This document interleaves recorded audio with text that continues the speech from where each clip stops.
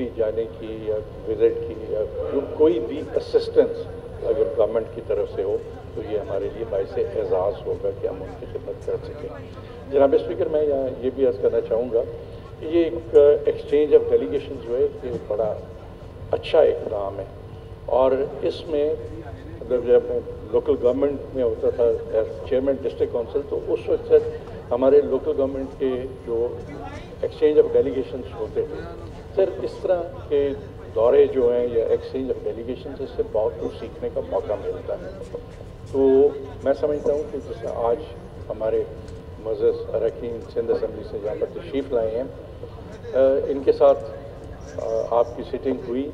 لیکن بہتر اس کا ایک اور انداز بھی تھا کہ اگر ان کو ہم اپنی پوری گورنمنٹ کی طرف سے ان کو ایک بریفنگ دیتے کہ اس دوران ہمارے گورنمنٹ کی کارکردگی کیا رہی ہے اپنی لیجسلیشن کے حوالے سے ڈفرینٹ انیشیٹوس کے حوالے سے سیاسی جو چھوٹی چھوٹی رکاوٹیں ہوتی ہیں جو باٹل نیکس ہوتی ہیں ان کو سمجھنے میں اور دور کرنے میں مدد ملے گی اور میں صرف اتنا گزارش کرنا چاہوں گا کہ سندھ کے تمام سندھ کے عوام اور ان عوام کے جو نمائندگار یہاں تشریف لائے ہیں ہمارے لیے بہت ہی محترم ہیں.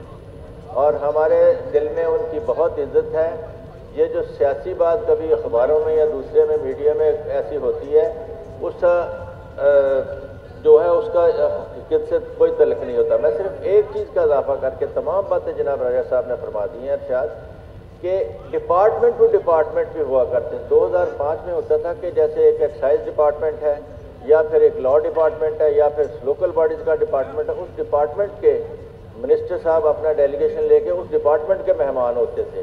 اگر اس طرح بھی ہوا جائے ڈیلیگیشن کی دو اقسام ہو جائیں گی۔ میں ایک تجویز جناب کے ذریعے سامنے رکھنا چاہتا تھا۔ میں ایک دفعہ پھر آپ کا بھی شکریہ ادا کرتا ہوں۔ اور جناب والا، میں سندھ کے آنے والے ساتھیوں کو میں بہت ہی زیادہ گڈ لک بھی کہتا ہوں اور ان کو ان کو خوش آمدید کرتا ہوں۔ آپ اتنی دیر سے تقریر کی جا رہی۔ کوشچن کریں سپلیمنٹری کوشچن پلیز کوشچن ہے یہ کہ جب وہاں پر آپ یہ مار رہے ہیں کہ وہاں پر کوڑے کے امبار لگے ہوئے ہیں تو آپ انہیں اٹھانے کا کیا سسٹم انٹروڈیوس کرا رہے ہیں وہاں پر بس ٹھیک تھینک یو جی جی میں بتاتا ہوں جی جی آپ تشریف رکھیں اب میری گزارش لیٹ ہم رسپونڈ آنریبل ممبر میری ریکویسٹ سن لیں دیکھیں یہ جو سر یہ کلیکشن سینٹر جو ہیں یہ انہی کے اپنے بنائے ہوئے ہیں یہ جو انہوں نے مقرر کیے تھے ہم نے اس میں کوئی اس میں شامل نہیں کیا، کوئی ہم نے ہم نے ریڈیوس نہیں کیا پہلی بات۔ دوسری بات یہ ہے، سر، کہ یہ سیاسی، میں آپ میٹنگ میں ہمارے ساتھ یہ آ جائیں، ہمیں لے جائیں۔ اگر ہم سمجھتے ہیں کوئی فزیکلی اس میں تقریر یا سیاسی پوائنٹ سکورنگ کی بات نہیں ہے، یہ بڑا جینون مسئلہ ہے۔ لیکن گراؤنڈ ریالٹی سر، یہ ہوتی ہے کہ کچھ جگہ پہ ہمیں لوگوں کو کچھ نہ کچھ فیسیلیٹیٹ کرنا پڑتا ہے۔ اب ادھر جگہ تنگ ہے، مقامی طور پہ لوگ ادھر کدھر جائیں گے؟ اگر سر یہاں سے ہم کوڑا اٹھا کے آدھا کلومیٹر دور لے کے جائیں، وہاں پہ کلیکشن سینٹر بنا دیں۔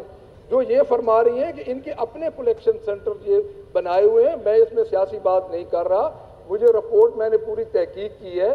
اگر میری بہن چاہیں گی تو میں ان کو پکس بھجوا دوں گا ادھر سے اور اگر یہ چاہیں تو ہم کوئی ان کے ساتھ کوئی یہ ہمارے ساتھ میٹنگ کا ٹائم رکھ لیں۔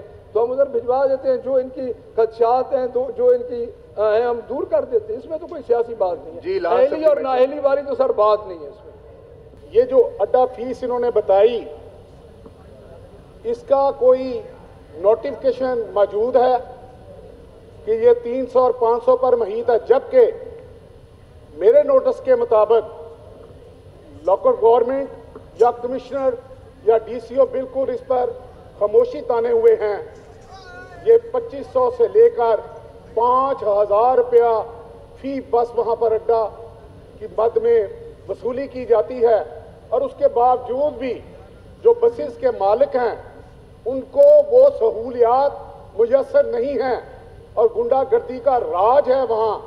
جنرل بس سٹینڈ، میں پارلیمنٹری سیکٹری صاحب سے یہ پوچھتا ہوں کہ کبھی انہوں نے لاہور جنرل بس سٹینڈ کا یہ لوکل باڈی کے افسران کے ساتھ کبھی وزٹ کیا ہے؟ وہاں جا کے دیکھیں کہ کہاں کیا گنڈا گردی کا راج ہے۔ جی۔ میں ان سے سوال کرتا ہوں کہ اگر ان کے پاس اڈا فیس کا کوئی نوٹیفکیشن کیٹیگری وائز ہے تو وہ ایوان میں پیش کریں۔ میرا کوشچن یہ ہے اس میں ضمنی کوشچن میرا یہ ہے کہ مئے سے لے کر اب تک کتنا ترقیاتی فنڈ جو ہے وہ استعمال ہوا ہے اس میں سے کتنا ڈیولپمنٹ تھا اور کتنا جو تھا نان ڈیولپمنٹ ہے؟ میڈم نے جی میڈم نے جون دو ہزار اٹھارہ سے تاحال یہ لوکل گورنمنٹ کا ڈیولپمنٹ فنڈ کا سر یہ پوچھا ہے۔ نان ڈیولپمنٹ کا پوچھا ہے اگر ان کو ضرورت ہے تو ہم ان کو بتا دیں گے۔ جی نان ڈیولپمنٹ کا آپ نے نہیں پوچھا اب اسپیسیفکلی میں۔ میں بتا رہا ہوں۔ جی میں میں عرض کر رہا ہوں۔ یہی میں عرض کر رہا ہوں کہ جون دو دو ہزار دو ہزار اٹھارہ سے جون دو ہزار انیس تک دو ہزار اکانوے ملین خرچ ہوئے اور چار ہزار پانچ سو پینتیس ملین یہ ہوئے ہیں ٹوٹل جو مختص کیے گئے ابھی سر، اس کے بعد ہمیں کوئی پیسہ نہیں ملا اور ابھی تک ہم نے کوئی روپیہ لوکل گورنمنٹ فنڈ میں خرچ نہیں کیا۔ کیا یہ بھی درست ہے کہ اس راجبا میں سیوریج کا پانی گندا ڈالنے کی وجہ سے اس راجبا سے گندا پانی دونوں طرف کھیتوں میں کراس ہو کر ارد گرد کے کسانوں کے کاشتکاروں کو بہت نقصان ہوا ہے اور فصلوں میں کھڑا پانی رہتا ہے۔ جس کی وجہ سے اس علاقہ کے سینکڑوں ایکڑ رقبہ پر کھڑی فصلیں تباہ ہو چکی ہے کیا یہ اس گندے پانی کے نکاس کا مناسب بندوبست کرنے کا ارادہ رکھتا ہے؟ سپلیمنٹری کوشچن یہ تو آپ کوشچن اپنا ریپیٹ کر رہے ہیں۔ جی وہاں کی پوزیشن یہ ہے سر۔ کہ یہ راجبا تفیق بٹ صاحب کے حلقہ سے اور حلقہ پی پی باڑ سے گزرتی ہے۔ لدے والا بڈیج کے سینٹر سے یہ راجبا گزرتی ہے۔ اس میں سیوریج کا پانی ڈال دیا گیا ہے۔ تو سیوریج کا پانی کے لیے علیحدہ انتظام کیا جائے تاکہ وہ فصلوں کو تباہی کے بچ سکے۔ جی یہ تو آپ کی اور اس سارے اس کے علاوہ اور بات سنیں نا حفصہ آباد روڈ انیس سو اٹھاسی سے لے کر آج تک اتنی خراب ہے کہ وہاں پر کئی عورتوں کے ٹانگیں اور پیر ضائع ہو چکے ہیں ایکسیڈنٹ سے۔ تو مہربانی کر کے سب سے پہلے سیوریج کا انتظام کیا جائے۔ اس کے جی۔ بعد سڑک کے لیے کچھ مہربانی فرمائی جائے۔ کوشچن تو آپ کا نہیں ہے نہیں تو آپ فنڈ مانگ رہے ہیں۔ نہیں میں فنڈ نہیں مار رہا ہوں میں کہہ رہا ہوں کہ سیوریج کی وجہ سے سڑک بھی خراب ہے۔ جی۔ مسئلہ یہ ہے کہ میری ذاتی علم کے مطابق بات سامنے آئی ہے کہ ماڈل ٹاؤن سوسائٹی لاہور میں موجودہ ہر بلاک میں بنائی جانے والی کمرشل مارکیٹوں میں دکانیں، ہوٹلوں کے آگے بنائی جانے والے فٹ پاتھوں پر سوسائٹی اور یونین کے ممبران کی ملی بھگت سے غیر قانونی تجاوزات بنائے ہوئے فٹ پاتھوں کی دکانداروں نے کرائے پر دیے دیے رکھے ہیں، جس کی وجہ سے ماڈل ٹاؤن کی رہائشیوں کو شدید پریشانی کا سامنا کرنا پڑتا ہے۔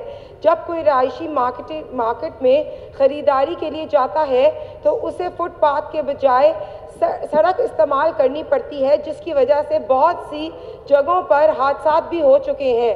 مقامی لوگوں کی طرف سے اس اہم مسئلے کے لیے کئی بار سوسائٹی آفس سمیت یونین کاؤنسل کے آفس میں شکایت جمع جمع کرائی گئی ہیں۔ اس عوام کی رائے ہے کہ صوبے کے اکثر تعلیمی اداروں نے عوام کو لوٹنے کا سلسلہ شروع کر رکھا ہے۔ ہر سکول یونیفارم، کاپیاں اور کتابوں کو از خود مہنگے داموں فروخت کرتا ہے اور تمام نجی تعلیمی ادارے ایسا یونیفارم، کاپیاں اور کتابیں تیار کرواتے ہیں جو مارکیٹ میں دستیاب نہ ہو اور مجبوراً طلبہ کو اسکول سے یہ اشیاء مہنگے داموں پر خریدنی پڑتی ہیں۔ لہٰذا یہ عوام حکومت سے مطالبہ کرتا ہے کہ صوبے کے تمام نجی تعلیمی اداروں کو پابند کیا جائے کہ وہ ایسا یونیفارم کاپیوں کے اور کتابوں کا انتخاب کریں جو تمام تعلیمی اداروں میں یکساں ہوں اور بآسانی مارکیٹ میں دستیاب ہوں تاکہ بچوں کے والدین پر فیسوں کے بھاری بوجھ کے علاوہ مہنگا یونیفارم کاپیوں اور کتابوں خریدنے کا بوجھ کم ہو سکے۔